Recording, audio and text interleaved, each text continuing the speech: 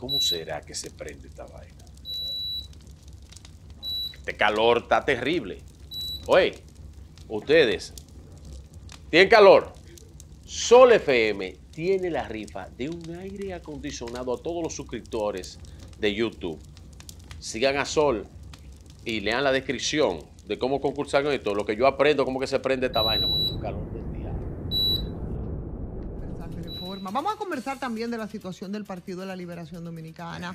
Vamos a conversar con Francisco Domínguez Brito a propósito de todo lo que ocurre, dirigente de esa de ese partido, de, esa organización, política. de la dirección política del PLD, eh, para ver cuál es su perspectiva respecto a lo que ocurre ahí, respecto a los últimos pronunciamientos de ¿Ya está en Danilo? No, de Danilo Medina, Ah. que ha puesto, que, se ha- que dicen, eh, pero eso es un poco en broma, de que han- yo, yo he oído por ahí, porque aquí no perdonan. Han puesto de moda la canción de Paquita, la del barrio, de Rata de Rata Pa- inmunda, Rata rata de. Rata de Eh, Alejandro, Donde yo ¿no estoy cantan eso y viene Eh. una dama y canta eso, yo me voy. Alejandro, no Sí, tienes la- Eso no demasiado Eso eh, es muy- violencia. Tú no tienes la canción. Pero y, pues, entonces fue muy violento Danilo cuando Claro llamó que sí, rata yo a- creo que sí.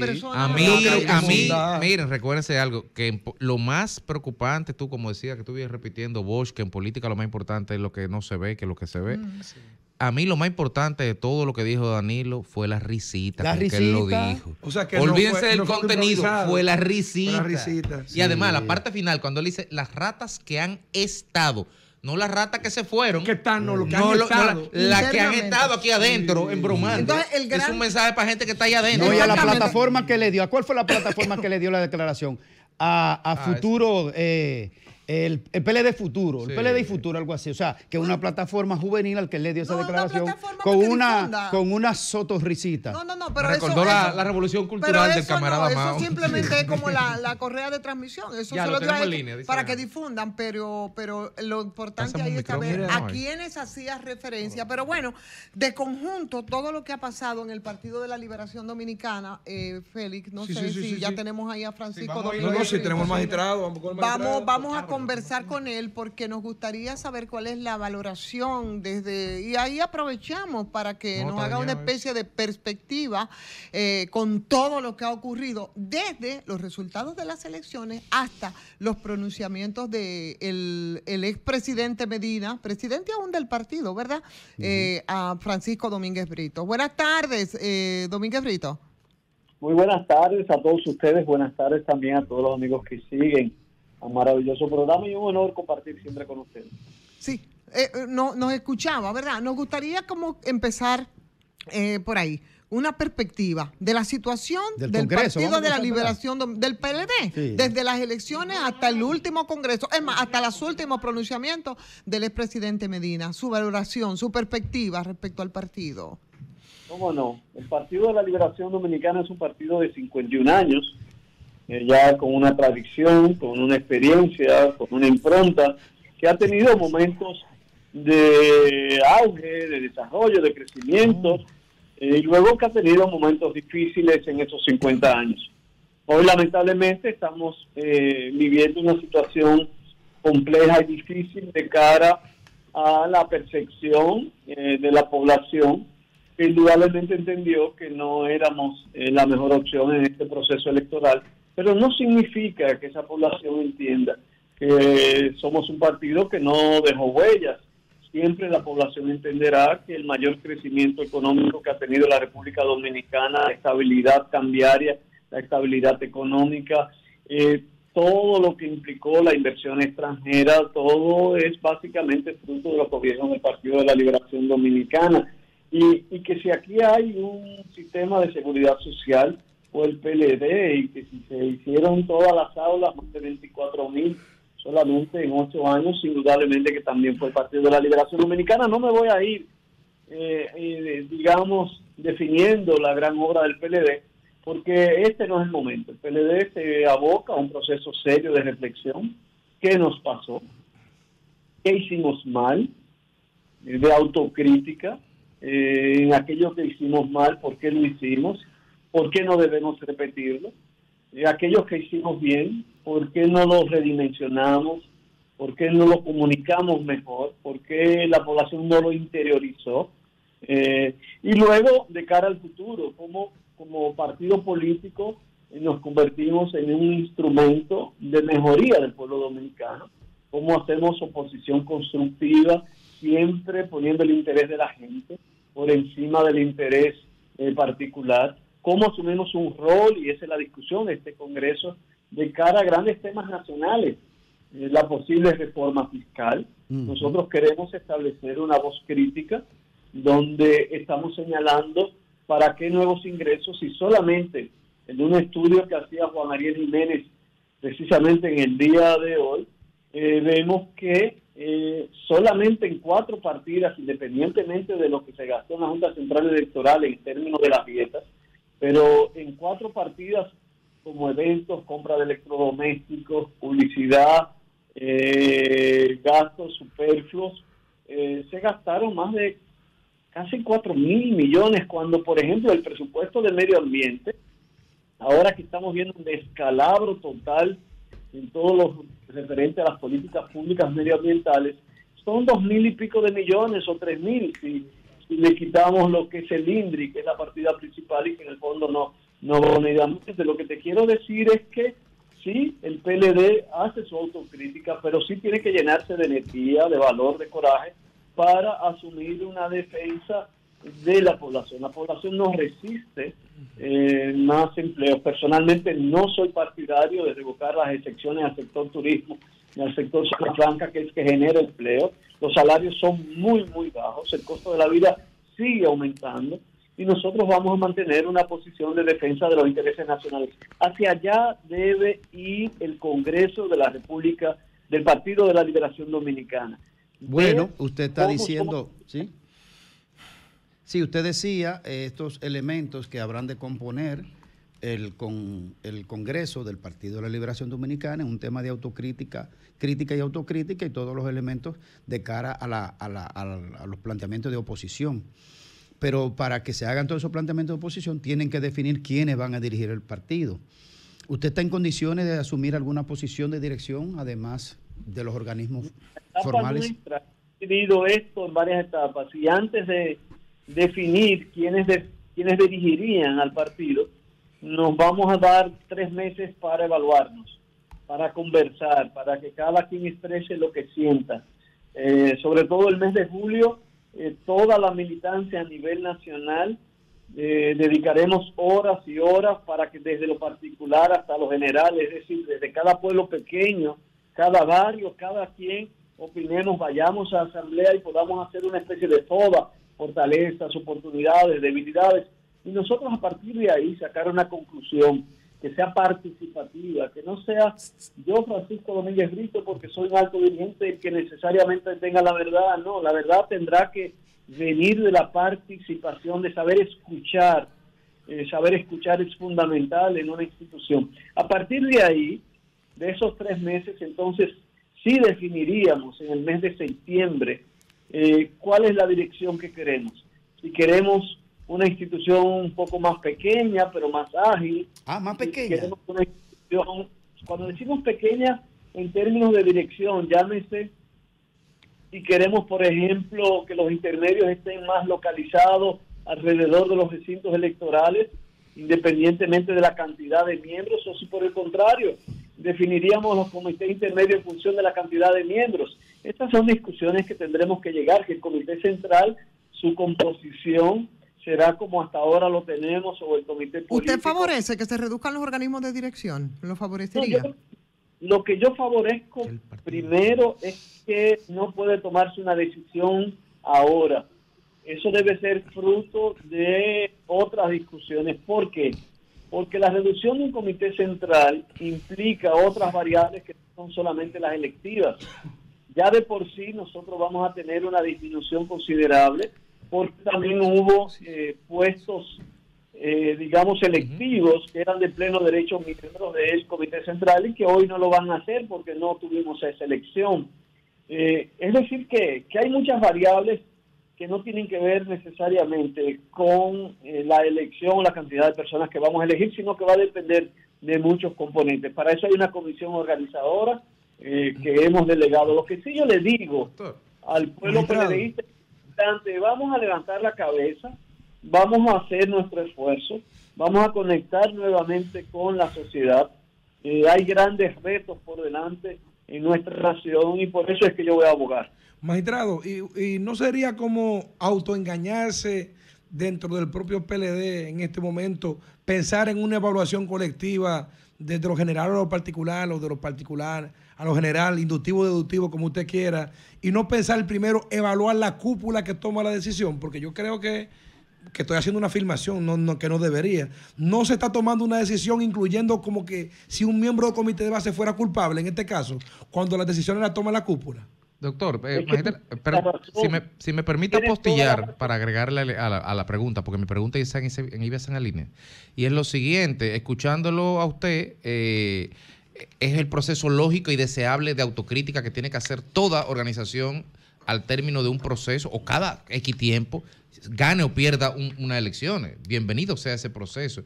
Pero eso que usted no está diciendo, cual decálogo perfecto, yo creo como que, y ahí empato con Félix, eh, trata como que, como que soslaya el hecho de que hay una crisis política a lo interno del PLD y, la pregunta es si la revisión ordinaria de los marcos estatutarios, del decálogo, de la idea, de los principios, de lo cosmético, de lo formal, podrá subsanar o evitar que se tenga la verdadera discusión que es la que acaba de plantear Félix ahora es que yo coincido 100% con lo que dijo Félix. Eh, si, si la primera autocrítica no se hace desde arriba, realmente no tiene sentido. Si quienes tomamos decisiones no revisamos eh, las cosas, no tiene sentido. Eh, la participación de en todos los sectores es fundamental porque tampoco tiene sentido que nosotros nos evaluemos arriba sin escuchar y creamos que nosotros tenemos la verdad. Yo creo que todo el mundo aquí tiene sus verdades y, hay que oír todas las verdades. Por eso cuando hablo de que tiene que ser también de abajo hacia arriba, es porque creo que aquí nadie tiene el monopolio de la verdad. El PLD eh, no es que vive una crisis política, es que eh, en este momento no fuimos capaces de que la población entendiera que somos la institución que debería dirigir los destinos de la cosa pública pero tal vez hay otras cosas que sí yo lo veo desde dentro. Magistrado, y no sería... Déjame nada más decirte esto. Sí, sí, sí, adelante, sí, sí. política no es solamente para ganar elecciones. Eh, la política tiene componentes mucho más allá. Eh, es el debate, es construir políticas públicas desde el espacio en que te encuentras, es colaborar, es contradecir, es confrontar eh, otras posiciones dentro del marco de lo que entendemos que conviene a la República Dominicana. Entonces, si tú me preguntas a mí cuál es el elemento fundamental que el PLD tiene que revisarse, es la pérdida de la mística. Eh, hemos perdido mucha mística. Y cuando yo digo mucha mística, quiero decir cómo eh, no solo el PLD, sino la mayoría o todos los partidos mayoritarios de la República Dominicana y en América Latina, cómo el, ese populismo clientelar se ha ido apoderando de las estructuras y al final estamos viendo que aquellos dirigentes que hacen política por una pasión, por un amor, eh, lamentablemente tienen grandes dificultades porque quienes tienen el éxito son personas obligadas al narco, que tienen una gran cantidad de dinero o que hacen unas alianzas complejas eh, con la corrupción. Al final la población o muchos sectores políticos van viendo que si dirigentes altos se hacen multimillonarios con el, ejercicio político porque ellos no.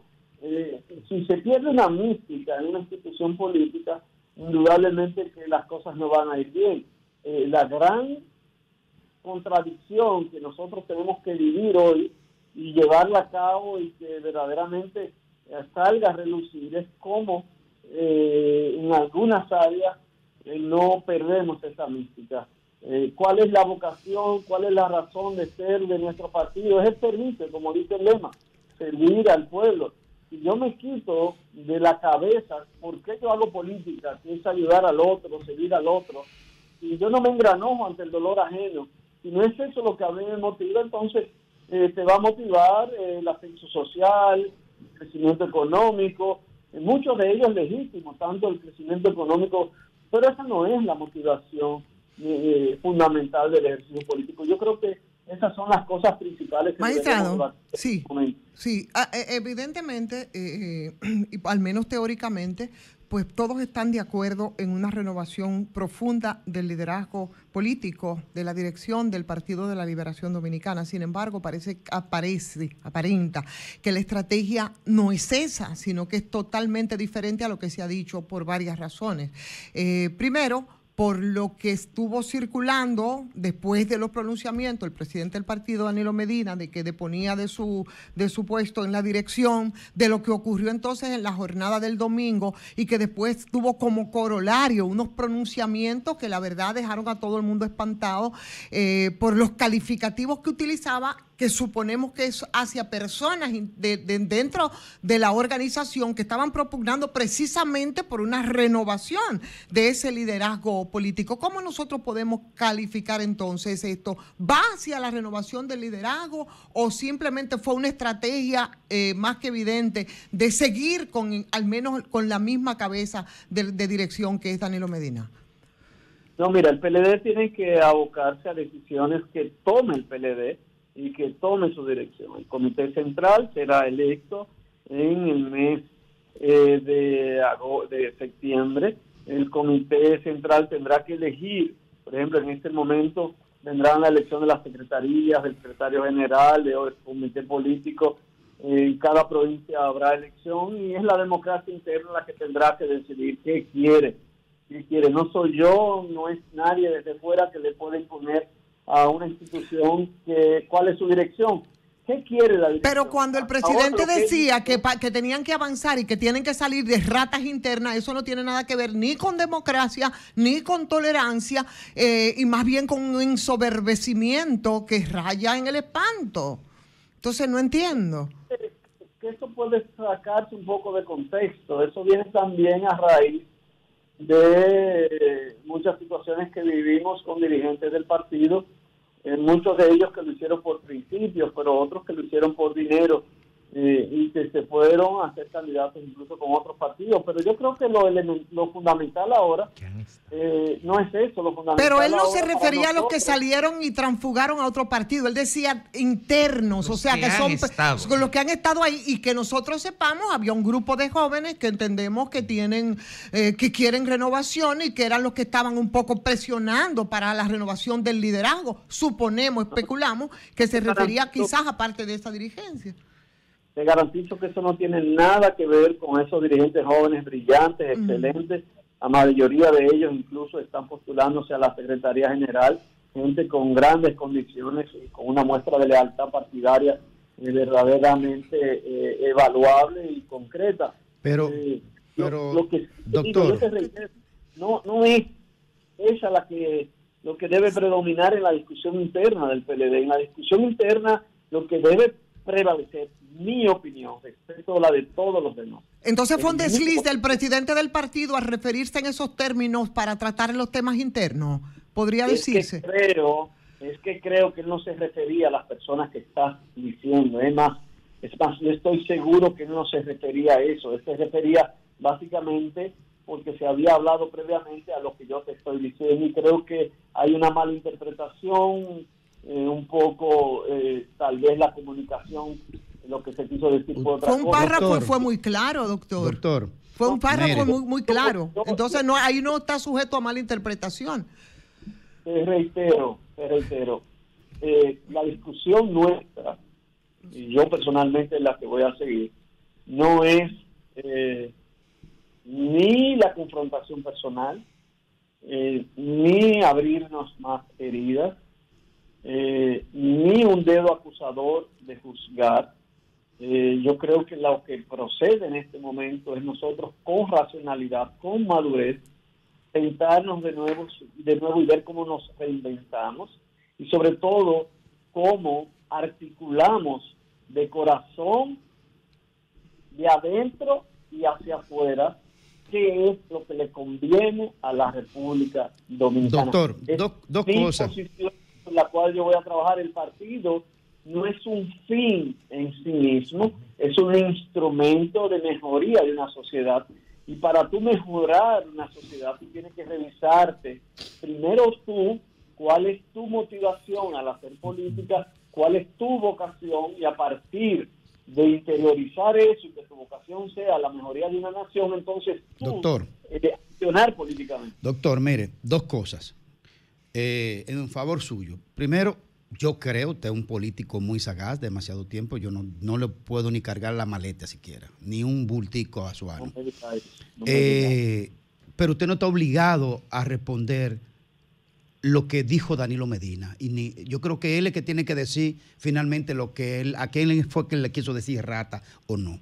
Porque yo creo que eso es una expresión demasiado dura para compañero o ex compañero bajo cualquier circunstancia. Ahora usted le trata de, de soliviantarle la carga, pero está bien, yo lo entiendo. Pero la pregunta es la siguiente. ¿Es tan democrático y tan abierto que la gente puede aspirar a la Secretaría General abiertamente? Van varios ya, pero a la presidencia nadie se atreve a sacar la cabeza. Yo no diría eso. Yo personalmente entiendo que la apertura... Su nombre se ha mencionado, por ejemplo, el nombre suyo, presidente. Pero te puedo decir que formalmente el Congreso empieza el 30 de junio y a partir del 30 de junio probablemente otros aspirarán a la Secretaría General y también habrán aspiraciones a la presidencia del partido. Eh, simplemente eh, hay estrategias. ¿Usted aspiraría, doctor? Yo no he tomado ninguna decisión todavía. Ah, yo quiero esperar eh, cómo se va desarrollando y en su momento yo tomaría decisión. Magistrado, viendo la propia coyuntura, inclusive la explicación que usted da referente a lo que decía Danilo y todo lo que ocurre dentro del PLD, yo he aprendido que cuando algo en español hay que darle muchas vueltas para explicarlo, es que hay problemas para entenderlo. ¿Usted cree que el PLD en estos momentos está en capacidad, me refiero a la cúpula, es imposible validar 500 mil votantes? ¿Usted cree que la cúpula del PLD en estos momentos está en capacidad de autoevaluarse o necesita ayuda? No sé qué tú quieres decir como ayuda. Si ayuda es buscar. Bueno, ayuda de profesionales de, profesionales del área de, la comunicación política, de, la evaluación, de la crítica, autocrítica. Como se ha perdido y hay que evaluar, pero hay que ver si necesitan ayuda o si pueden hacerlo de por sí solos. Mira, eh, yo pienso que las mayores y más grandes empresas con los empresarios más calificados buscan ayuda. A eso, a eso es que... Y nosotros tenemos que tratar de... O una facilitación, por decirlo de alguna forma. Y consultores externos, personas que vean cosas que nosotros no vemos. A veces tú puedes tener juicios muy sesgados cuando tú estás aquí y el otro desde fuera ve cosas que no ves. Eh, personalmente soy partidario, y eso lo aprobamos, de que en este proceso de evaluación contratemos personal calificado, no solamente dominicano, sino también otros que observan los movimientos políticos latinoamericanos. En medio de la situación del PLD, perdón Federico, eh, eh, eh, que se encuentra, ¿usted cree que puede levantarse sin esa necesaria renovación del liderazgo o con el mismo liderazgo podría salir a camino? Mira, hay una comunicación que hizo Armando del Comité Político que a mí me llamó mucho la atención, porque él decía, ojo, eh, el tema no es solo de edad, el tema es de visión. Eh, el PLD, los más adultos o los menos adultos, eh, tenemos que entrar en un proceso de revisión sobre la visión que tenemos. ¿Cuál es el paradigma nuestro? ¿Hacerme rico? ¿Cuál es el paradigma nuestro? ¿Ser famoso? Eh, ¿Ser poderoso? O, el paradigma nuestro debe ser como yo, por ejemplo, dejo un legado de que hoy República Dominicana, que está estancada como un país de ingresos medios, que los recursos humanos y el capital humano está muy por debajo del desarrollo material, que no hay manera en este momento de que podamos avanzar con un nivel educativo y formativo de nuestros jóvenes que va a producir un estancamiento en los próximos 20 años en la República Dominicana y que probablemente eso conllevará a un decrecimiento también económico como lo han vivido otros países. Nosotros estamos en un momento crítico como nación, porque nosotros llegamos al tope, al tope del mayor crecimiento de América Latina, fuimos junto con Panamá, pero ya llegamos a un crecimiento económico que no se compadece con el crecimiento humano. Lamentablemente, nuestros recursos humanos tanto en lo tecnológico, en lo profesional, en lo académico, se ha ido quedando muy rezagado con relación a otras naciones del mundo y eso pudiera implicar que nuestros hijos no tendrán las oportunidades que tendrán los hijos de otras naciones. hacia ahí debe ir. Pero doctor, vuelvo a, la, vuelvo a la pregunta y me disculpa en esa valoración tan interesante que acaba de hacer. ¿Usted cree que puede salir de la crisis en que se encuentra el PLD sin la renovación de su liderazgo? Es que habrá renovación. Eh, siempre tendrá que haberlo en cada uno de los comités desde abajo hacia arriba. Eh, tendrán que ir a ocupar funciones lo que tengan más hambre de trabajar, ambición sana de luchar. Eh, yo creo que el PLD no puede darse el lujo, ni los PLDistas que están en funciones de comité central o aún de comité político, que no estén en la disposición por salud, por cansancio, por edad, por lo que tú quieras, tienen que ceder paso a aquellos que quieren trabajar, a aquellos que quieren y que tienen la pasión y que tienen la sangre caliente para irse a la calle a defender valores y principios. Eh, un partido que se anquilosa eh, es un partido que está condenado al fracaso, es como el agua del río estancada. Eh, las cosas tienen que fluir. El PLD lo ha hecho en un sinnúmero de ocasiones, a pesar de algunos defectos, y tendrá que hacerlo nuevamente. Doctor, eh, desde el punto de vista, le voy a hacer una pregunta en dos aristas. Una es la institucional, que entiendo que, es válida porque puede ser colectiva la respuesta, y otra política que solamente se la puede hacer usted porque usted no puede hablar a nombre del comité político. De cara al, a los procesos de reforma estructural que está planteando el presidente Luis Abinader, comenzando por una anunciadísima reforma a la Constitución de la República, el pacto fiscal, las 12 reformas y todo lo que hay por ahí puesto sobre la mesa. Eh, eso va a tomar un unos tiempos políticos que me imagino, algunos de ellos en el caso de la constitucional empezarán a correr a partir del 16 de agosto y otros podrían quizás empezar a correr antes. En todo caso, el proceso interno de ustedes, ahí viene la pregunta, la arista jurídica, el proceso interno de ustedes que durará 145 días hasta finales de octubre, eh, ¿cómo está diseñado el estatuto para garantizar quién ostenta la representación del PLD de cara a la vocería frente a esa reforma, a la posición del partido frente a esa reforma, porque todo esto va a pasar en lo que ustedes tienen la puerta de la casa trancada revisando lo que pasó adentro. Y mientras tanto afuera el mundo está cambiando. ¿Quién va a hablar a nombre del partido con qué calidad? Y ya que usted, ¿qué cree? Es su posición política personal suya. Yo pienso que el comité político ante cualquier tema trascendente nacional mantiene todo... ¿No queda inhabilitado cuando la, la eh, creación de la comisión organizadora? ¿No se subsume ahí la dirección? queda inhabilitado como entidad regulatoria de los temas organizativos, administrativos, que le dio poder al secretario general para que le dé seguimiento al tema administrativo, pero no en cuanto a temas de alta dimensión política mantiene hasta que sea sustituido de acuerdo con los estatutos. Eh, esperamos que nosotros en agosto tengamos las nuevas eh, autoridades, por lo menos a nivel del Comité Central, Secretarías y Comité Político. Luego de agosto vendrá un proceso interno que durará hasta febrero del año que viene de elección de direcciones medias, provinciales, municipales, distritos municipales. Este Congreso ha dividido y ha sido dividido en dos. Pero yo te reitero, hoy el PLD eh, toca fondo en un sentido y tiene la responsabilidad por la democracia de nuevamente renovarse y echar hacia adelante. Yo pienso que eh, a nadie le conviene que el sistema de partidos políticos se destruya en la República Dominicana. Eso trae grandes inventos que le ha costado muy caro a América Latina. Eh, el PLD, al igual que el mismo partido de gobierno, eh, han trabajado con políticas claras respecto a inversión extranjera, crecimiento económico, estabilidad.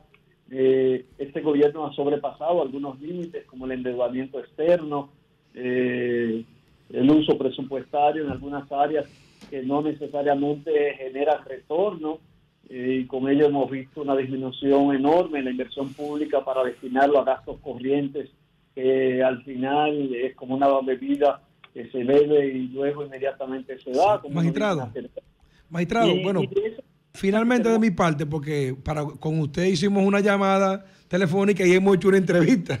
Oh, pero tú crees que poca cosa? No, no, no, es justamente por eso, porque la calidad del interlocutor. Es la calidad, es la calidad suya y su respuesta que nos motiva a una llamada de, de 10 minutos, la convertimos en una entrevista de 30 minutos. Pero finalmente de mi parte, magistrado, eh, usted históricamente ha tenido la condición o el señalamiento público de que inclusive estando dentro del gobierno fue quien encabezó la lucha contra la corrupción dentro de los gobiernos, que siempre va a existir el tema corrupción, pero usted se veía como la bandera de la lucha anti la corrupción, pero en los últimos meses o, años, por un tema de, de coyuntura, no tiene ese perfil tan alto frente a ese tema, cuando la sociedad ese es el tema que hoy más requiere. ¿Qué ha pasado con esa posición suya?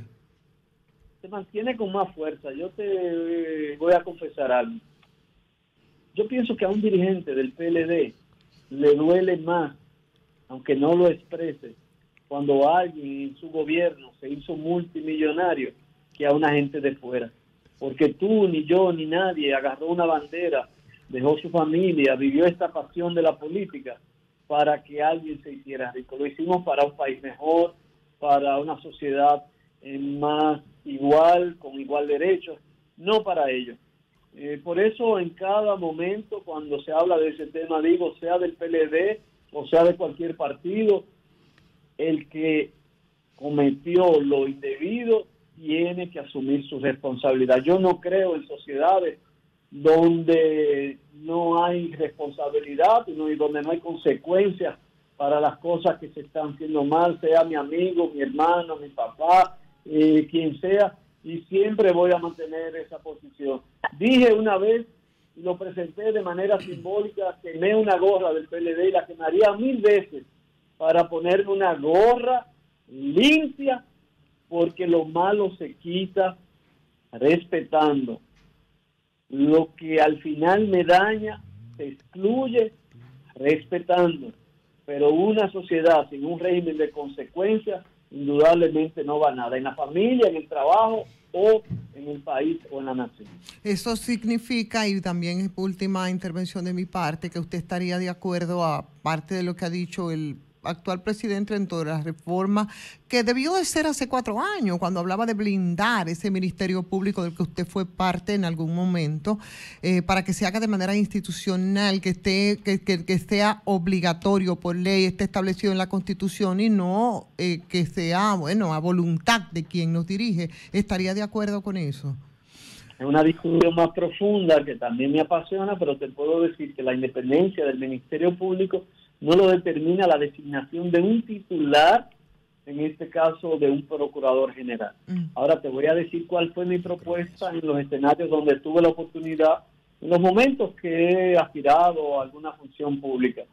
Creo en que la ola de reforma que llevamos a cabo, a cabo aquella vez terminó, que tiene en su momento que haber una discusión. Creo en un ministerio público, su cabeza el procurador general que sea de carrera, que tenga una inamovilidad de cuatro años, que al ser de carrera tenga que haber empezado desde abajo. Creo que debe seguir siendo parte del Consejo Nacional de la Magistratura. Pienso que debe evaluarse en los órganos de administración del Ministerio Público y de los jueces, porque indudablemente no están jugando un rol y eso se está convirtiendo en cartel o en sindicatos o en una institución que no verdaderamente responde a lo que fueron sus necesidades. Pienso que en esa ola de reforma hay que reinventar el Código Procesal Penal. Hoy la jurisdicción inmobiliaria es cara casi imposible para un ciudadano pobre. El país se estancó en materia de justicia. Y una de esas propuestas va en la línea que tú dijiste. Y voy a mantener esa coherencia. Eh, siempre lo hice en nuestro gobierno y lo voy a mantener ahora. Igual creo que hay mucho temor con esa reforma constitucional, mucho temor. Los presidentes dicen que solamente van por un periodo, como lo hizo el presidente Abinader, y de la noche a la mañana dijo que el pueblo se lo pedía y entonces se fue a un segundo periodo y que la constitución se lo, se lo permitía. No, no, tenemos, sí, sí, así es, Tiene, tenemos mucho antecedente de eso. Que no va para un tercer periodo pero hay un diablito está comiéndose calma los oídos. Sí, sí, sí. Y ustedes bien que lo saben. en el PLD sí es verdad que lo sabemos saben. de esos diablitos. Esos diablitos llevaron, magistrado, incluso a que el Congreso, óyeme, se, se convirtiera casi en un campo de guerra. Tiene mucha razón. Estamos de acuerdo. quiero decir, si somos seres humanos, el presidente Abinader lo respeto, pero es un ser humano como todos nosotros. Con todas y las ese debilidades. lo está acechando. y, y, creo que, que, esto no es personal. Eh, las instituciones tienen que estar por encima de las voluntades unipersonales de cada uno. Claro, sobre todo hay algunos diablitos que acechan para que él nunca jamás se ha quitado. Pero bueno, es un placer haber conversado con usted, Francisco Domínguez Brito, miembro del Comité reserva, Político Domínguez del Brito, Partido de la Liberación Dominicana y está pendiente para que lo hagamos in situ aquí. Sí, eso fue de que una llamadita de media hora, pero una llamadita. Así es que coordinaremos para que entonces usted esté aquí con nosotros por un tiempo sí, más prolongado. Más temas, Muchísimas adelante, gracias, eh, magistrado. Un abrazo. Un abrazo para Música